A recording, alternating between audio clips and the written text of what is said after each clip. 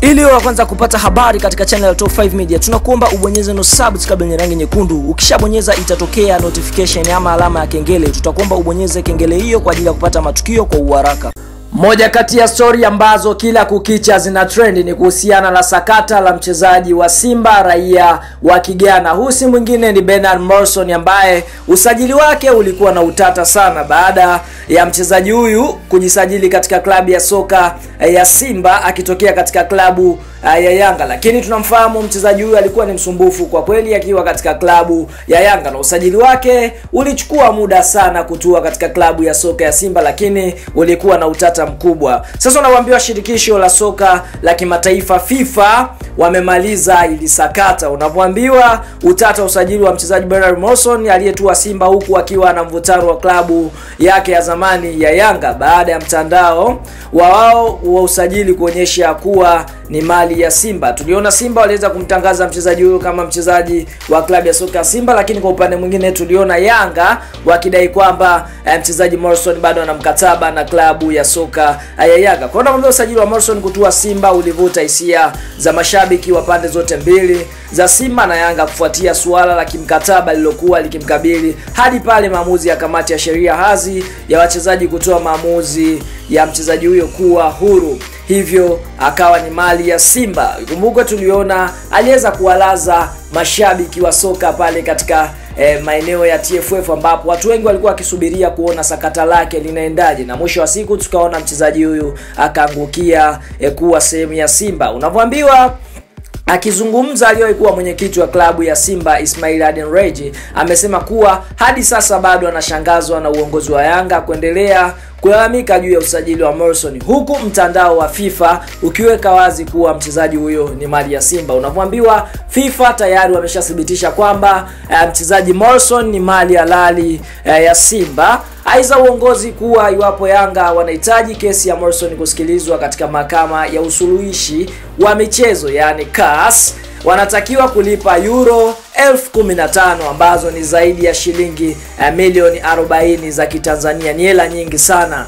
Uh, unavyoambiwa baada kama Yanga akifanikiwa kutoa hela hizo, ndipo suala lao litasikilizwa ikiwa ni kwa jaji mmoja, na wakijitahidi zaidi itabidi waongeze fedha, yaani hiyo milioni 40 kwa jaji mmoja. Kama unataka majaji wawili, basi fedha ziongezeke. Unavyoambiwa suala hili linachekesha kwa sababu sizani kama viongozi wa Yanga hawajui sheria, wanaijua vizuri. Morrison alikuwa mchezaji huru kwenye mtandao wa FIFA, inaonyesha amesajiliwa Simba.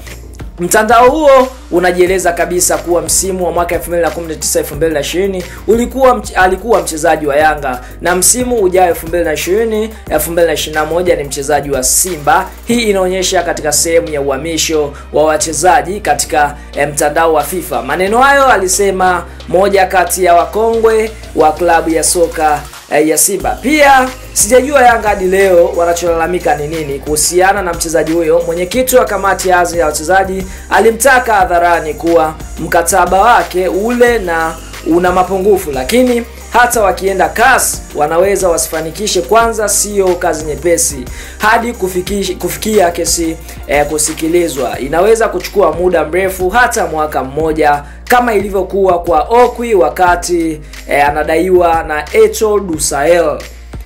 Unatakiwa kuwakilisha dokumenti zote FIFA, kisha wao wakupangie jaji ambaye anatakiwa kulipwa euro elfu kumi na tano sawa na shilingi uh, milioni 40 za Kitanzania kwa jaji mmoja, ambapo pia inategemea kesi inahusu nini, na iwapo anatakiwa kuongezwa jaji wa pili e, aweze kusikiliza, basi pesa itaongezeka mara mbili. Hivyo ni vyema waweke risiti hadharani, isije wakatumia muda E, kuwadaa mashabiki wao. Maneno hayo alisema Rage ambaye ni mmoja kati ya e, watu ambao walikuwa sehemu ya kamati e, ya Simba ambapo tunaona kwa sasa e, sakata ambalo lina trend ni kuhusiana na sakata la Morrison, lakini kwa upande mwingine tunaona FIFA wameshathibitisha kwamba Morrison ni mchezaji wa klabu ya soka ya Simba kwa sababu ukiangalia mkataba wake unaonyesha 2020 mpaka 21 ataitumikia Simba, lakini 2019 2020 alikuwa Yanga. Kwa hiyo kwa upande wa FIFA basi wamemaliza, lakini